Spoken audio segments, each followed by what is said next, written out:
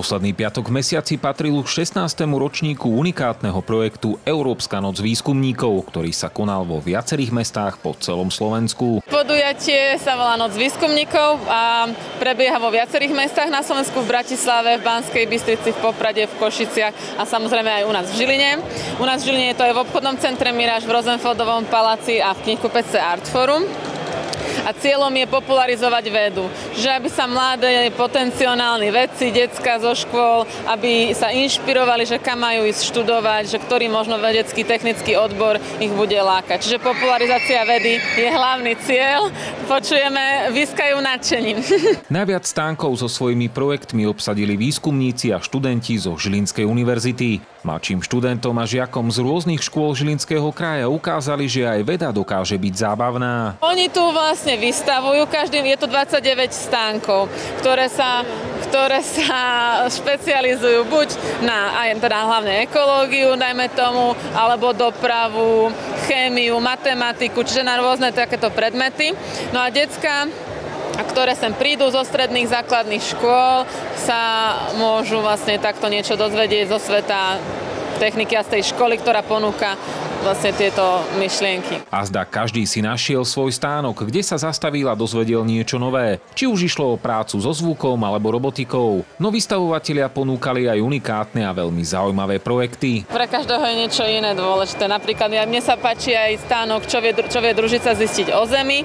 Oni majú zábery vlastne z vesmíru a na základe tých záberov vedia aj, ako sa ľadovce začínali topiť, ako sa zmenšujú a tak ďalej. Takže detská vedia, že ako toto postupovať. Zároveň sú tu aj napríklad, ako resuscitovať ženy, čiže od ekológie sa prejde aj do zdravotníckej sféry, lebo že vraj je tam povedala štatistik, že nechcú oživovať ženy, ľudia väčšinou, že majú strach, alebo teraz skôr sa hambia, čiže zasa tiež aj taká osveta v tomto smere. Takže nájde sa tu naozaj všetko od zdravotníctva cez techniku.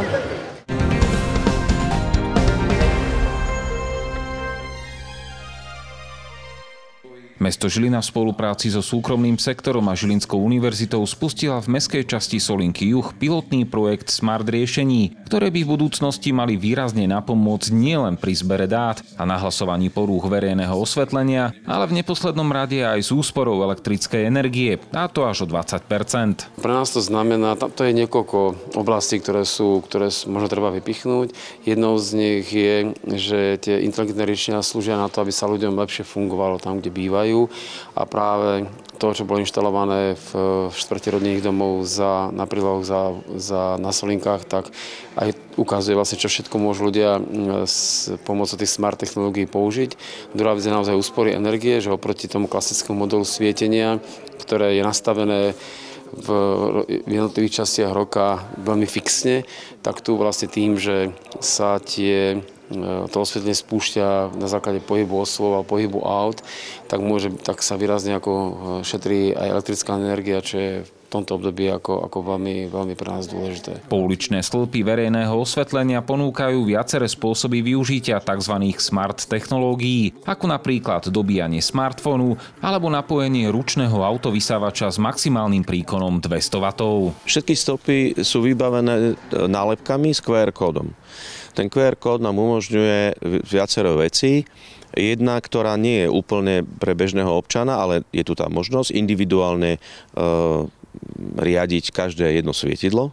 To, čo je pre občana prístupné, cez ten QR kód môže nahlasovať poruchy, môže nahlasovať nejaké požiadavky, ktoré idú buď priamo na web mesta, alebo je pripravená aplikácia, kedy to okamžite ide do riaceho systému a vlastne operátori vidia, že niečo sa tu deje. To znamená, buď je nejaká porucha, alebo hovorím, niekto má nejakú požiadavku, nemusí to byť iba o poruche.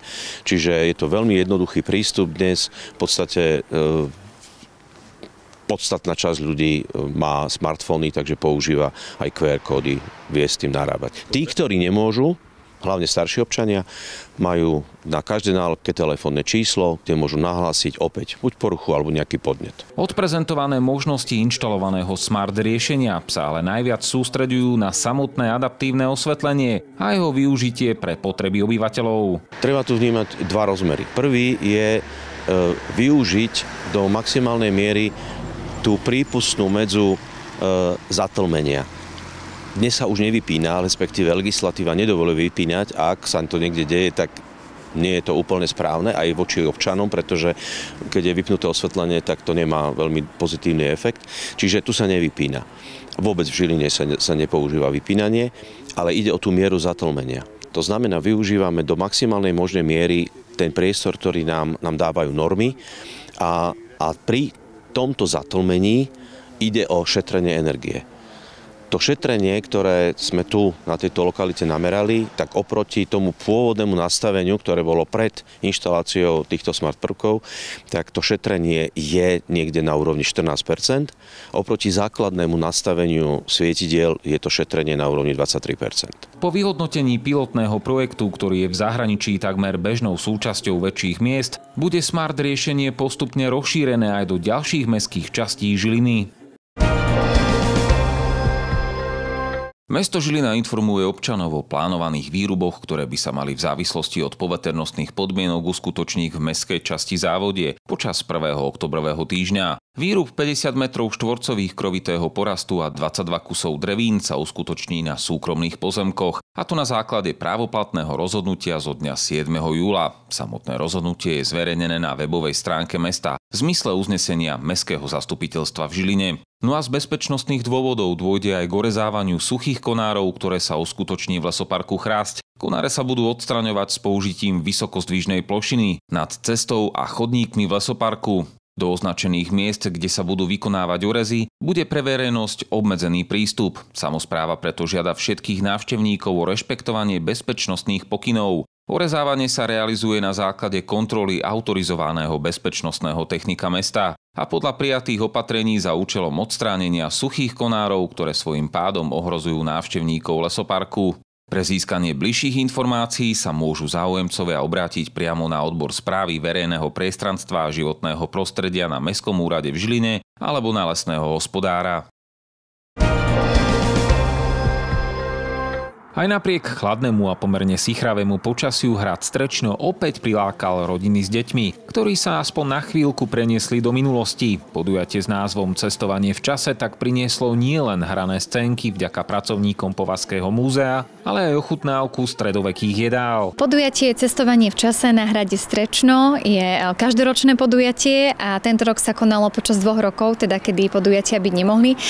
Tak sa veľmi tešíme, pretože toto podujatie je spojené s kuchyňou a takže je hrad plný chutí a rôznych voní a návštevníci prostredníctvom divadelno-hravého zoskupenia Rastca uvidia, ako sa služobníctvo pripravuje na takú veľkú hostinu, pretože hradný pán si zavolal hostí a teda kuchárka aj všetky služky a sluhovia musia pripraviť, aby tá hostina bola tip-top. Stredoveká kuchyňa sa vyznačuje jednoduchosťou a je pomerne zdravá. Návštevníci tak mohli ochutnať tie najvyberanejšie jedlá hradného dvora. Samozrejme, na prázdno neodídu neodídu ani návštevníci a pretože na nadvorí ich čaká ochutnávka a ukážka stredovekej dobovej kuchyne, a ktorú si pripravili zamestnanci Považského múzea a zo skupenia Cechtera de Selinan a Vir Fortis.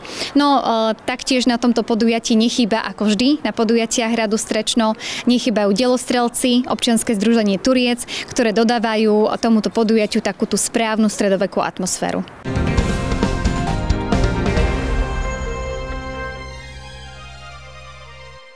Žilinskí futbalisti nastúpili v 12. kole na štadióne pod Dubňom, kde boli ich súpermi futbalisti Trenčína. Góly videlo 1259 fanúšikov až po prestávke. Hosti poslal do vedenia Soares, ktorý využil nepozornosť žilinskej obrany. Tréner Žiliny poslal v 62. minúte do hry Jambora a ten sa mu po 13 minútach odďačil vyrovnávajúcim gólom. Žilina si tak s Trenčanmi body podelila. So Žilinou sú vždy takéto zápasy, že, že bránkári majú veľa roboty Mm, hrá sa hore-dole futbal, ofenzívne obidve mužstva sú, takže dalo sa to čakať, ja som sa na to pripravil a na to som tam, aby som niečo chytil. Po tom gole, čo sme dali na 1-1, tak už sme mali veľkú prevahu a ja som tam mal veľkú šancu na rozhodnutie a cítim veľké sklamanie, že som to nepremenil. Máme strašne veľa šancí a dneska sme boli malo efektívni. Jambor pri vyrovnávajúcom góle využil vysunutie od Gidyho, šikovne si položil obrancu Trenčína a Kukučka už nemal nárok. Mladý útočník tak preukázal zabijacký inštinkt. Dostal som výbornú loptu do behu a bol som už hneď rozhodnutý, že budem to brať na seba, že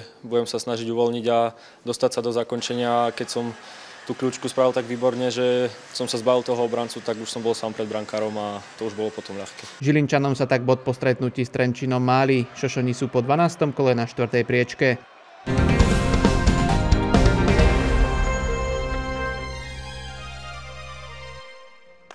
Uplynulý víkend sa konalo tradičné bežecké podujatie Zátopková desiatka. Tentokrát si účastníci pripomenuli z výročie narodenia legendy slovenského a svetového behu Emila Zátopka. Organizujeme 36. ročník Zátopkovej desiatky a 25.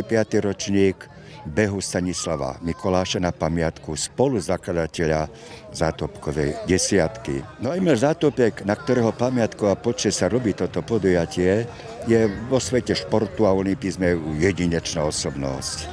Dosiahol to, čo na svete ešte nikto nedosiahol a podľa môjho odborného poznania ani nedosiahne. Totiž na jedných olympijských hrách dokázal zvíťaziť vo všetkých vytrvaleckých disciplínach. Behu na 5 km, 10 km i v maratóne. Bol držiteľom štyroch olympijských medailí víťazstiev ešte predtým v Londýne roku 1948 zvíťazil behu na 10 tisíc metrov a bol 18-násobným svetovým rekordérom behov na dlhé trate. Má také unikátne výsledky, treba spomenúť, že prvý na svete zabehol 20 kilometrov pod jednu hodinu, tzv. hodinovke, a 10 tisíc metrov zabehol prvý na svete pod 29 minút. Dosiahol čas 28,54,3 to sú aj dnes unikátne výsledky, ktoré ja na Slovensku a neviem, či nikto vôbec dosahuje v súčasnosti. Proste na pamiatku tejto legendárnej osobnosti, ktorý sa narodil 19. septembra 1922, čiže oslavujeme storočnicu jeho narodenia. Čest jeho pamiatke. Bežci si to rozdali teda na novom tartane v areáli Žilinskej univerzity. Najrýchlejším pretekárom sa stal Lukáš Kubička. Bežal som to s ľahkosťou hlavne, aby sa mi to šlo čo najľahšie. O týždeň bežím Košice polmaratón v Košiciach a chcel by som behnúť hodinu 13, tak toto také tempo budeme sa ešte vydržať ďalších 10 km.